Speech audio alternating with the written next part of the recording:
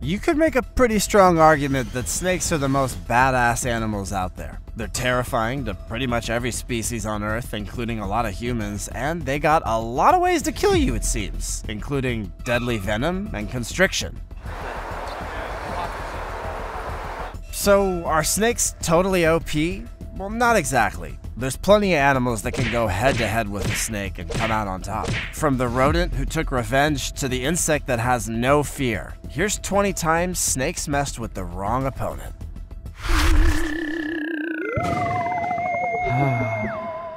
Number 20. A squirrel actually winning against a snake.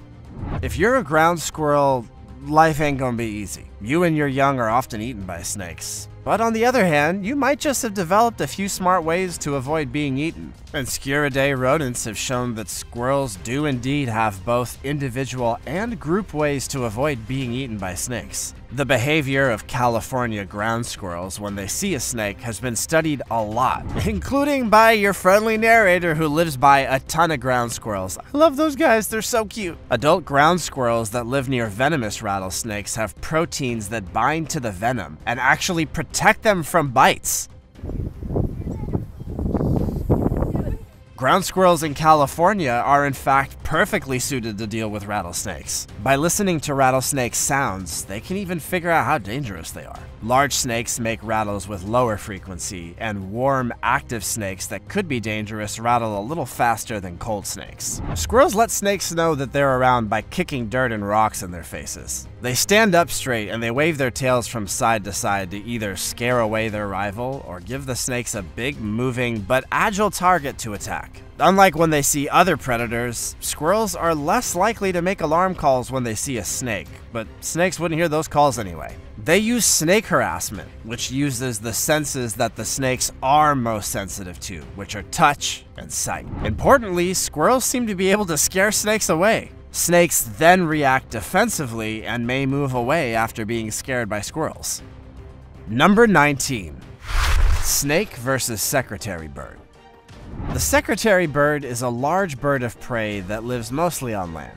It lives only in Africa, and it can usually be found in the sub-Saharan grasslands and savannas. Unlike most birds of prey, the secretary bird spends most of its time on land, and it hunts for food by walking. Adults hunt in pairs or loose family groups, making long strides as they move through the habitat. Their prey includes insects, small mammals like mice, hares, and mongooses, crabs, lizards, and you guessed it, you know what list this is, they eat snakes! The average length of a black mamba Uh, is between 2.5 and 3.2 meters, making it the longest venomous snake in Africa. It's also the world's fastest snake, able to move between 4.3 and 5.4 meters per second. It's got a reputation for being aggressive and very venomous. A study on mice showed that it's one of the most venomous land snakes in the whole world. In spite of this, the win would go to the secretary bird. Their ranges overlap in some areas, so they're most definitely natural predators of black mambas. So yeah, if we take these two critters who are from the same area, the bird's gonna get good food. The mamba could be killed with just one crushing step. However, if the mamba lands a bite, the bird could be in trouble. These expert snake catchers are very agile and they know just what to do to not get bitten. Number 18. Scorpion attacks snake. It's really quite amazing. It's a fact of life that animals often fight with each other. One example is the war between snakes and scorpions, which has been going on for many years. One of these animals always seems to be trying to kill the other. So, which animal has the upper hand? Are scorpions mean animals that hide in shadows until they have a chance to sting a person and kill them? Actually, no. Scorpions are shy, and they only sting people when they feel threatened. They come out at night and sleep in burrows, under wood piles, rocks, or other small, dark places during the day. Scorpions do like to fight snakes. That is true. When a snake bites a scorpion, it's pretty likely that the scorpion will bite back. Scorpions use their venom to kill or paralyze their prey, which are usually insects. However, larger scorpions can eat small lizards and mice. In the US, there's about 70 different types of scorpions, but only one, the bark scorpion, could kill a human. Even in the case of a bark scorpion, death from a scorpion sting is pretty rare, and serious cases can be treated with antivenom. Number 17. Cat kills a snake.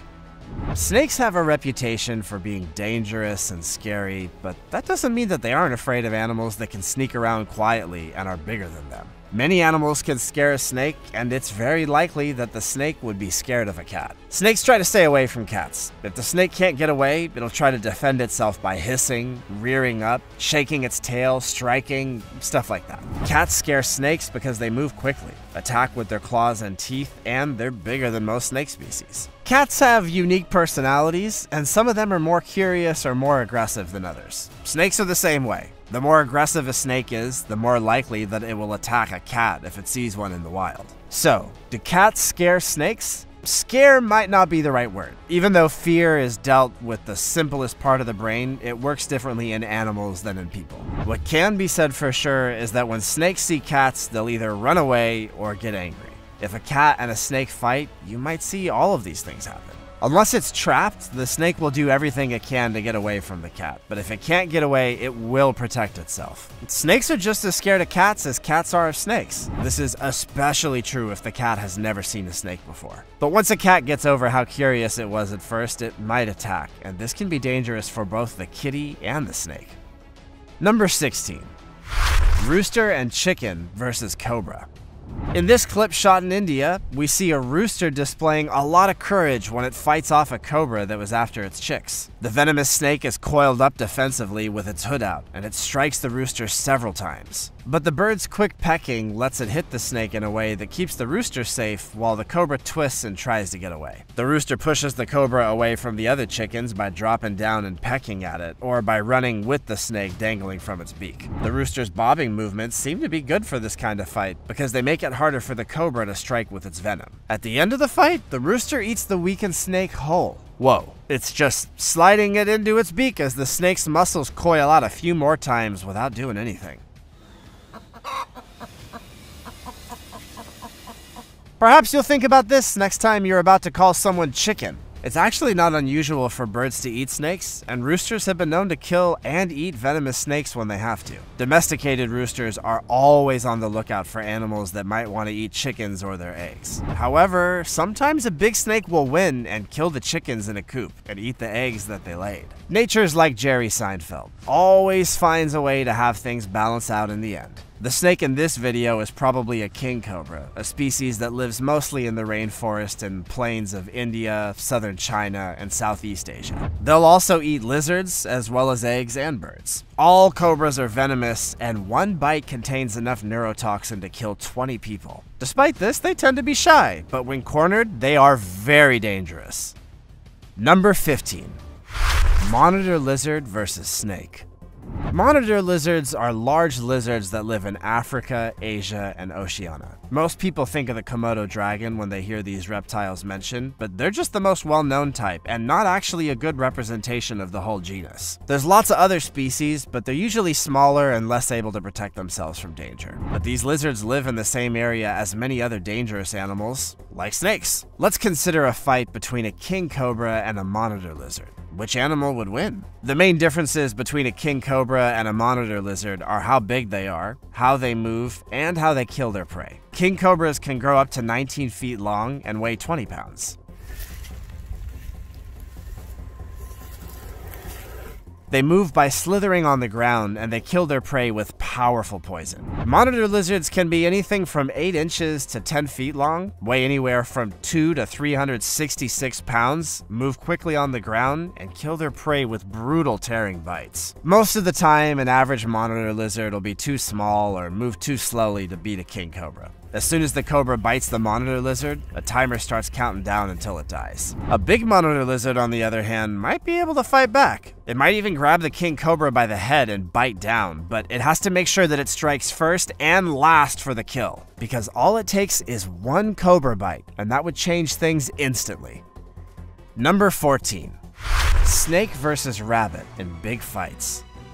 This exciting new video shows a mother rabbit trying to protect her young from a snake. In the background, you can hear children yelling, Bite it! Bite it! and no one knows where the attack took place. But we do know that the snake was a black rat snake that's not venomous. Still, this is one pretty badass rabbit. Because rabbits are prey animals, their mothers stay away from them when they're not nursing. They prefer to hide them and hope for the best. But even if the mother rabbit isn't close by, it doesn't mean that the babies are orphans. If you want to make sure the bunnies are okay, check on them in the morning and see if their bellies are warm and round. This means mom is taking care of them and that the mother is probably still alive. There's an old myth that says rabbits will leave their young if humans touch them, but this is false. Still, it is better to keep contact to a minimum if you have baby bunnies around and just make sure they're doing okay. Number 13 Snake versus Honey Badger. Honey badgers are often thought to be some of the toughest animals in the world. They look for fights with bigger animals, and most of the time they win, or at least tie. When a honey badger meets a snake, what happens? We'll show you what happens when a honey badger and a snake fight and which animal wins. Honey badgers and snakes are very different in terms of size, shape, and how they hunt. Honey badgers are bigger than the average snake. Unlike snakes, they have four legs and they hunt by chasing their prey. Snakes, on the other hand, catch their prey by surprise. Honey badgers have thick skin that's tough to bite through. They also have a strong smell that makes most other mammals think twice about attacking them. Also, honey badgers have an unusual ability to avoid getting sick from rattle venom. Snakes have plenty of scary ways to show how dangerous they are. They can also hide in trees and use camouflage to stay safe from enemies. In this particular showdown, honey badgers are better able to protect themselves than snakes. Honey badgers will almost always kill a snake if they fight it. They live in Africa, which has some of the world's most dangerous snakes. Honey badgers don't try to avoid snakes. Instead, they kill and eat them on a regular basis. So, what happens if the snake bites the honey badger? Well, even if the honey badger gets bitten, it probably would just kill the snake before the venom could do any harm. The honey badger would then lie down, wait for the effects of the venom to wear off, and then finish eating its dinner. Number 12 Snake versus Mongoose. King cobras are venomous snakes that are very dangerous. We've seen that. But some animals are quick, smart, and strong, so they attack these terrifying snakes. We'll take a look at a fight between a king cobra and a mongoose and tell you which animal would win. In a fight, a mongoose could kill a king cobra. The mongoose, like the honey badger, hunts venomous snakes as its main source of food wherever it lives. These animals have some defense against venomous snake bites, which gives them an edge in the fight. The king cobra will probably have to bite the mongoose more than once to get rid of it. The mammal, on the other hand, is much faster and more agile. And it can break a snake's skull with just one bite. So to start the fight, the mongoose runs around the king cobra, watching how it reacts and looking for a way in. Because the king cobra stands up to fight, it'll have to turn its head to follow the mongoose at some point. After a few hints, the mongoose will see an opening and bite the cobra to death. Number 11. Snake versus baby iguana. This clip is pretty scary to watch, and it looks like the poor iguana is gonna die when it gets tangled up with a bunch of snakes. However, the reptile wriggles out of the mob, scrambles up the rocks, making a dramatic leap to safety as one snake lunges with its mouth wide open in a last-ditch effort to catch its prey. The young iguana, which is just a hatchling, instinctively stays still at first to avoid being seen. When it becomes clear that the snake is gonna strike, the iguana starts running, and the racer snakes come out of the cracks in the rocks along the beach to join the chase. But the iguana is just too fast. This is a great win, but just so you know, not every iguana is as lucky. Eventually, someone's gotta get eaten. However, in case anyone wondered, this is in no way an example of snakes hunting in a group. No snakes ever do that. There's just a lot of snakes in that part of the beach, and if one of them smells food and starts to move, the others follow. Number 10 Snake versus Hedgehog. Hedgehogs have a lot of enemies in the wild. The wild's a cruel place, and hedgehogs are neither as big nor as strong as lions or tigers, sadly for them. But they do have sharp pointy quills, and they can actually defend themselves from many animals. Hedgehogs can even be seen attacking and eating snakes. Can that really happen? Well, take a look and see for yourself. Yeah, snakes are part of the diet of many types of hedgehogs in the wild, especially vipers. This means that hedgehogs go out at night and kill snakes to eat. Scientists found that some hedgehogs are immune to the venom of these snakes. For many people, it's hard to imagine a small creature like a hedgehog on the hunt for snakes. Still, that's how things are in the wild. Hedgehogs are nocturnal, which means that they do their searching for food at night. Snakes and hedgehogs almost never meet during the day.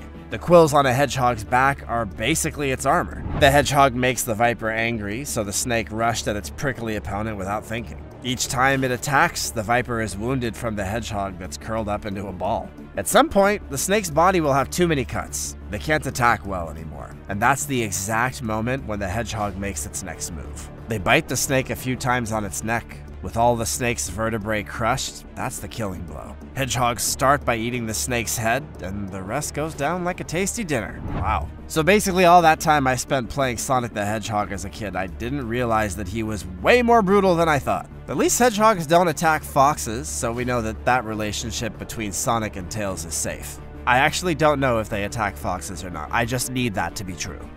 Number 9 Snake versus Turkey. Some videos on the internet are both interesting and scary at the same time. This turkey and snake fight video is a great addition to that list. The clip starts out with a shot of a snake lying on green grass in a yard. There's also a turkey standing nearby. At first, the bird moves slowly towards the snake, but soon it began pulling on the snake's tail. Even though the snake tries to get away, it doesn't stop the bird. At the end of the video, the snake goes into a bush and is no longer seen. Victory to the turkey. So, do turkeys kill snakes? Yeah, turkeys kill snakes. Turkeys are omnivores. That means they eat both plants and meat. They don't care what kind of meat they eat, so they eat everything. Turkeys eat snakes, frogs, mice, and other critters. Number 8 Dog versus Snake. The last thing you want to see your best furry friend doing is being confronted by a snake. Dogs are vulnerable to snakes, but they're also brave. They'll try to protect you from them. However, there are smarter ways in which you and your dog can work together to stay safe from snakes. Usually, if your dog smells a snake, it'll let its nose do the talking.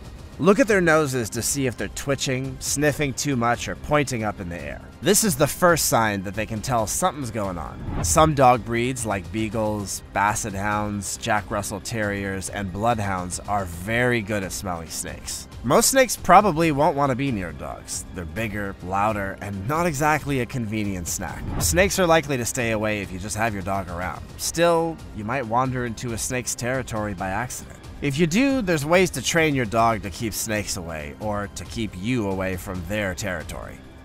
Number 7. Serval versus Snake.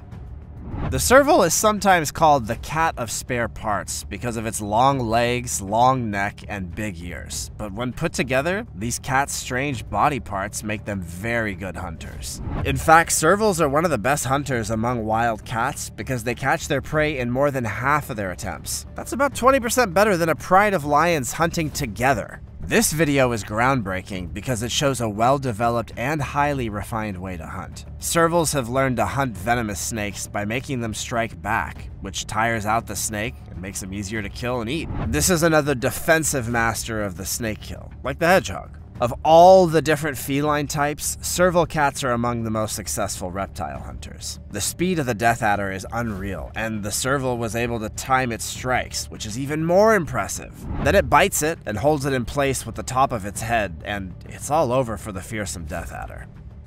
Number 6 Asian Bullfrog versus Snake.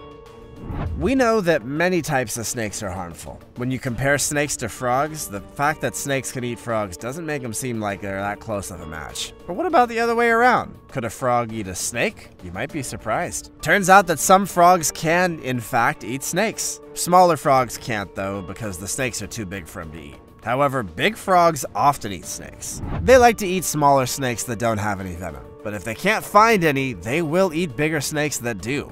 As a way to protect themselves from predators, many types of frogs have poisonous glands on their skin. These frogs can even people. As we've already seen, frogs like small snakes that don't bite. They also eat the ones that are venomous, but the small ones might just taste better. Even with all that, snakes are not a frog's main source of food. Frogs eat insects for the most part, and they do have a particular preference of snakes. They wouldn't eat the snake unless they had to, and it doesn't seem likely that they enjoy snakes as a meal very much. One species of frog that can eat a snake is the bullfrog. Bullfrogs are very adaptable, and they've been known to eat everything from fish to birds to snakes. Number 5 Lion versus Spitting Cobra. People often call kings the animals that they think are the most dangerous or the most powerful. That's definitely how the king cobra got its name, even though it's not, in fact, a cobra. People use the same kind of reasoning when they called the lion the king of the jungle, even though it lives in savannas. Imagine that these two kings got lost and ran into each other in the wild, where they got into a fight. Who would win if they were to fight? The lion would beat the king cobra in a fight. The lion has a lot going for it that would help it do this. For one thing, the lion only has to bite the king cobra once to kill it. If it took off running, it could grab the snake in its paws and bite off its head before the snake could do anything. Even if there was a surprise attack by the snake, the lion would still win this fight. Most likely, the king cobra would raise its head and wait for the lion to get close enough to strike. Even though the snake is quick, a single bite won't kill the lion that quickly. Either the lion wins quickly and easily, or the cobra bites the lion and kills the lion slowly, but not before the angry lion demolishes the snake. Number 4 Mantis versus Snake. The praying mantis is an amazing insect. That can't be denied. The praying mantis eats meat and blends in with its surroundings like a tiny green tiger. It gets its name from the way that its front legs are bent in a praying motion. Most species of mantis are green or brown, so they can blend in with the foliage and other plants. This lets them stalk insects like flies and grasshoppers with patience. These guys are scary. They're predators that kill prey three times their size. Mantises eat bugs, mice, small turtles, and sometimes even snakes. Praying mantises strike twice as fast as you can blink, and then slowly eat their unfortunate prey. Most people think of the praying mantis as a good insect because it eats many different kinds of insects that could injure people. The native Carolina mantis and the non-native Chinese mantis are both common praying mantis species in the US, and you'd better believe they can handle a snake. Check this guy out. Well, in this clip, the mantis clearly beat the snake, but I feel bad for the snake because he didn't even want to fight. And snakes don't have any limbs, which can make it hard for them to win these kinds of fights. But still, that mantis is just brutal. Number 3 Snake versus Alligator. Before pythons were brought into the Florida Everglades years ago, these big snakes and alligators did not live together in the wild.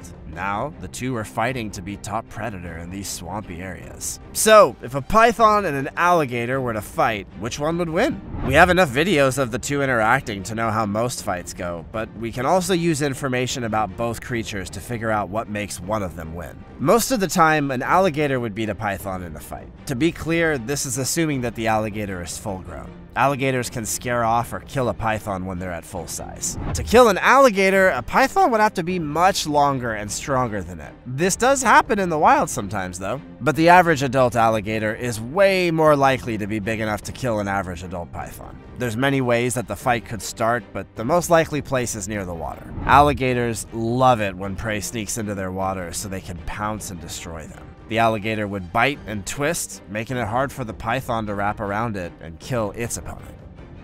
Number 2 Snake versus Kangaroo Rat.